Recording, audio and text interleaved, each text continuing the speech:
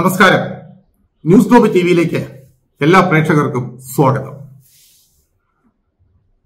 മലയാള സിനിമയിലെ ലൈംഗിക ആരോപണങ്ങളും തൊഴിൽ നിഷേധങ്ങളുമൊക്കെ ഇങ്ങനെ നിരനിരയായി വന്നുകൊണ്ടേയിരിക്കുന്നു ഓരോ സമയങ്ങളിൽ ഇത് വരുമ്പോ ഏറ്റവും കൂടുതൽ ഇപ്പോൾ ആരോപണം നേരിട്ടിരിക്കുന്ന രണ്ട് വ്യക്തികളിൽ ഒന്ന് സിദ്ദിഖ് മുകേഷ്. തൊട്ടു പിന്നാലെ ഈ സ്കോർ ഒക്കെ പറയുന്നത് പോലെ ജയസൂര്യയും ഉണ്ട്. ജയസൂര്യയാണെങ്കിൽ ഇപ്പൊ നാട്ടിലില്ല. ജയസൂര്യ അമേരിക്കയിൽ എവിടെയോ ആണ്. നാട്ടിലേക്ക് വരണമെങ്കിൽ ഇനി മുൻകൂർ ജാമ്യം കിട്ടാതെ ഈ ജയസൂര്യക്ക് നാട്ടിലേക്ക് വരാൻ പറ്റാത്ത അവസ്ഥയാണ്. ആദ്യം തിരുവനന്തപുരത്തുള്ള ഒരു നടി ജയസൂര്യക്കെതിരെ ഒരു ആരോപണം ഉന്നയിച്ചു. അതിന്റെ തെളിവുകളുമൊക്കെ അവരെ ലൊക്കേഷൻ സഹിതം സെക്രട്ടേറിയറ്റിനകത്ത് ഷൂട്ട് നടന്നുകൊണ്ടിരുന്നപ്പോ തന്നെ പുറകിലൂടെ വന്ന് കെട്ടിപ്പിടിച്ചു എന്നും ചുംബിച്ചു എന്നും ഒക്കെ പറഞ്ഞ അവർ പബ്ലിക്കായി ഈ കാര്യങ്ങൾ പറഞ്ഞപ്പോ ഏഴംഗ അന്വേഷണ സമിതി അതിലെ കേസെടുത്തു. ആ കേസിനകത്ത് സത്യത്തിൽ ഇതാണ് വന്നിരിക്കുന്നത്. തിരുവനന്തപുരം കന്റോൺമെന്റ് പോലീസ് സ്റ്റേഷൻ എടുത്തിരിക്കുന്ന കേസിൽ തിരുവനന്തപുരത്ത് സെക്രട്ടേറിയറ്റിൽ ഷൂട്ടിങ്ങിനിടെ കടന്നുപിടിച്ചു ലൈംഗികമായി ഉപദ്രവിച്ചു. സ്ത്രീയെ ബലപ്രയോഗത്താൽ കീഴ്പ്പെടുത്താൻ ശ്രമം സ്ത്രീയുടെ മാന്യതയെ അപമാനിക്കൽ. ഏഴു വർഷം വരെ ശിക്ഷ കിട്ടാം മൂന്ന് വർഷം വരെ തടവും കിട്ടാം. ജാമ്യമില്ല. ജാമ്യമില്ലാത്ത അങ്ങനെ വകുപ്പുകളൊക്കെ ചേർത്താണ് ജയസൂരിക്കെതിരെ അവിടെ ഒരു കേസെടുത്തത്. ആ കേസെടുത്തതിന്റെ തൊട്ട് പിന്നാലെ ജയസൂര്യക്കെതിരെ അടുത്ത ആരോപണവും വന്നിരിക്കുന്നു. ആ ആരോപണം പാലായിൽ ഷൂട്ടിംഗ് നടന്നപ്പോഴാണ്. പാലായിൽ പിഗ്മാൻ എന്ന സിനിമയുടെ ഷൂട്ടിംഗ് നടന്ന സമയത്ത് അവിടെ വെച്ചുണ്ടായ ഒരു ലൈംഗിക വൈകൃതത്തിന്റെ ചില കാര്യങ്ങളാണ് ഒരു പെൺകുട്ടി തുറന്നു പറഞ്ഞിരിക്കുന്നത്.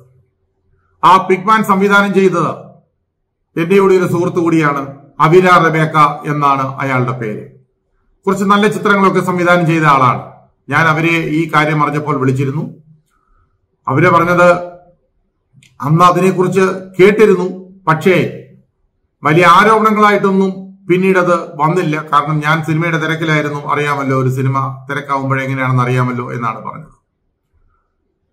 അവരെ മറ്റൊരു കാര്യം പറഞ്ഞത് പതിനഞ്ച് ലക്ഷം രൂപയ്ക്ക് സമ്മതിച്ച ലൊക്കേഷനിലേക്ക് വന്ന ജയസൂര്യ ഒരു അവാർഡ് പടങ്ങളൊക്കെ എടുക്കുന്ന ഒരാളാണ് ഈ അബിരാറബേക്ക അവരുടെ കയ്യിൽ നിന്ന് അവസാനം മുപ്പത്തിരണ്ട് ലക്ഷം രൂപയോളം ആ നിർമ്മാതാവിന്റെ കയ്യിൽ നിന്ന് പിടിച്ചു വാങ്ങി എന്നാണ് പറഞ്ഞത്. ഒരു ആത്മാർത്ഥതയുമില്ല എന്നൊക്കെയാണ് പുള്ളി പറഞ്ഞത്. എന്തൊക്കെയാണെങ്കിലും അത് സിനിമയുടെ മറ്റൊരു വശമായിരിക്കാം. പക്ഷേ ഞാനത് അന്വേഷിച്ചപ്പോ ഇതിന്റെ ഷൂട്ടിംഗ് നടന്നത് സർക്കാരിന്റെ അവിടുത്തെ പന്നി ഫാമിൽ വെച്ചാണ്. പാലായിൽ ഗവൺമെന്റ് ഒരു വലിയൊരു പന്നി ഫാം ഉണ്ട്. ആ പന്നി ഫാമിലാണ് ഇതിന്റെ ഷൂട്ടിംഗ് നടന്നത്. അപ്പൊ പീഡിപ്പിച്ചതും പന്നി ഫാമിൽ വെച്ച് തന്നെ. പന്നി ഫാമിൽ കുറേയധികം ആ കോട്ടേഴ്സുകളൊക്കെ ഉണ്ട് അവിടെ. അവിടെ വസ്ത്രം മാറാനും ഈ താരങ്ങൾക്കൊക്കെ ഇരുന്ന് വിശ്രമിക്കാനും ഒക്കെ ആയിട്ട് ചിലരുടെ കോട്ടേഴ്സുകളൊക്കെ ഒന്ന് ഒഴിഞ്ഞ് കിട്ടിയിരുന്നു എന്നാണ് റേവക്ക പറഞ്ഞത്. അങ്ങനെ കിട്ടിയപ്പോ അവിടെ ഏതോ ഒരു കോട്ടേഴ്സിൽ വെച്ചാകാം ഈ പീഡനം നടന്നത് എന്നാണ് അനുമാനിക്കേണ്ടത്. ആ പെൺകുട്ടി പറയുന്നതും അങ്ങനെ തന്നെയാണ്. ആ ലൊക്കേഷനിൽ വെച്ചാണ് എന്നാണ് പറഞ്ഞത്. അങ്ങനെ പന്നിക്കൂട്ടിൽ പോലും പെണ്ണുങ്ങൾക്ക് രക്ഷയില്ലാതായ ഒരവസ്ഥയിലേക്ക് മാറി. ഇപ്പോ മലയാളത്തിലെ തന്നെ ഏറ്റവും ബിഗ് ബഡ്ജറ്റ് എന്ന് വിശേഷിപ്പിക്കാവുന്ന ഒരു സിനിമ കടമറ്റത്ത് കത്തനാർ. കടമറ്റത്ത് കത്തനാറിലെ കത്തനാരായി അഭിനയിക്കുന്നത് ജയസൂര്യയാണ്. ഗോകുലം മൂവീസ് ആണ് അതിന്റെ നിർമ്മാണം. കാക്കനാട് ഏതാണ്ട് ഒരു ബ്രഹ്മാണ്ട സെറ്റുകളൊക്കെ ഇട്ട് അവിടെ ഏതാണ്ട് ഒരു വർഷത്തിൽ മേലെയായി ഷൂട്ടിംഗ് തുടങ്ങിയിട്ട്. ഇതുവരെയും അവസാനിച്ചിട്ടില്ല. ഇനിയും നാളുകൾ നീണ്ടുപോകും. ഏതാണ്ട് നൂറ്റി അൻപത് കോടി രൂപയോളം ചിലവാക്കി എല്ലാ ഭാഷകളിലും ചെയ്യാനുള്ള ചില പദ്ധതികളൊക്കെയാണ് പ്ലാൻ ചെയ്യുന്നത്.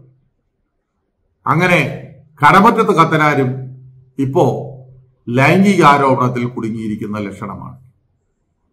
ഇനി ആ സിനിമയുടെയൊക്കെ ഒരു ഗതി എന്താകും എന്ന് പോലും പറയാൻ പറ്റാത്ത അവസ്ഥ ഇവരൊക്കെ ചിന്തിക്കേണ്ടത് ഇവരെയൊക്കെ വിശ്വസിച്ച് ഒരു സിനിമയ്ക്ക് പണം മുടക്കുമ്പോൾ കുറെയെങ്കിലും നമ്മൾ അവരോടുള്ള ആത്മാർത്ഥത കാണിക്കണം. സിനിമയാണെന്ന് പറഞ്ഞ് ഏത് പെണ്ണിന്റെയും പുറത്ത് കയറാൻ ചെന്നാൽ ഇതൊക്കെയായിരിക്കും അവസാനം കിട്ടുന്ന മറുപടികളും അവസാനം കിട്ടുന്ന കാര്യങ്ങളുമൊക്കെ ഇതേപോലെയുള്ള ചില കാര്യങ്ങളായിരിക്കാം. നേരത്തെയൊക്കെ പത്രങ്ങൾ രാവിലെ തുറന്നു നോക്കുമ്പോൾ രാവിലെ നാട്ടിലുണ്ടാകുന്ന പ്രധാന സംഭവങ്ങളുടെയൊക്കെ ഫോട്ടോകളൊക്കെയാണ് മുമ്പിൽ വരുന്നത്. ഇപ്പോ മലയാളത്തിലെ ഏത് മുൻനിര പത്രം തുറന്നു നോക്കിയാലും ആദ്യം തന്നെ മലയാളത്തിലെ പ്രമുഖന്മാരായ ചില നടന്മാരുടെ ഫോട്ടോകളാണ്. എന്നിട്ട് പറയുന്നത് ഇത്രയും പേരുടെ പേരിൽ ഇത്ര കേസുകളുണ്ട്. ഇത്ര ബലാത്സംഗ കേസുകൾ ഇത്ര പീഡന പരാതികൾ ഇന്ന ലൊക്കേഷനിൽ വെച്ച് ഇങ്ങനെ നടന്നു. ചാനലുകൾ തുറന്നു നോക്കിയാലും ഇത് തന്നെയാണ് കാണുന്നത്. ചാനൽ തുറന്നു നോക്കിയാലും കാണുന്ന കാഴ്ചകൾ.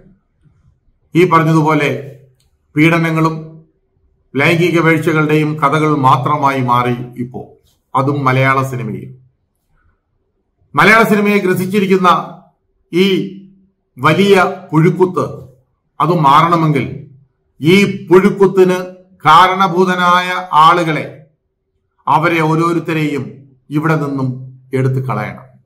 അതുമാത്രമല്ല ഇവരുടെ ഒരൊറ്റ മനുഷ്യന്റെ സിനിമ ഈ സിദ്ദിഖായാലും മുകേഷ് ആയാലും ജയസൂര്യ ആയാലും ഇടവേള ബാബു ആയാലും അങ്ങനെ ഒരു വലിയ നിര തന്നെയുണ്ടല്ലോ. ആ നിരയിൽ അതായത് ഇതിൽ പെട്ടിരിക്കുന്ന ആളുകൾ ഇനിയും വരാനുണ്ട്.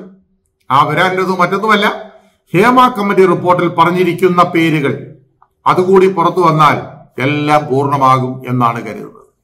അത് പുറത്തു വരേണ്ടത് അത്യാവശ്യം തന്നെയാണ്.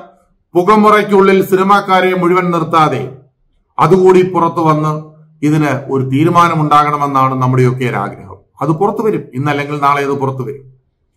ജനം ഒരു കാരണവശാലും ഇവരെ അഭിനയിക്കുന്ന സിനിമകൾ തിയേറ്ററിൽ പോയി കാണില്ല എന്ന് ഒരു തീരുമാനമെടുത്താൽ പ്രത്യേകിച്ചും ഇപ്പോ ഈ ഈ കുഴുത്തുരുമ്പുകൾക്കെതിരെയൊക്കെ പ്രകടനങ്ങളും അതേപോലെ തന്നെ ഇവർക്കെതിരെ പ്രവർത്തിക്കുന്ന രാഷ്ട്രീയ പാർട്ടികളും ഒക്കെ ഉണ്ടല്ലോ.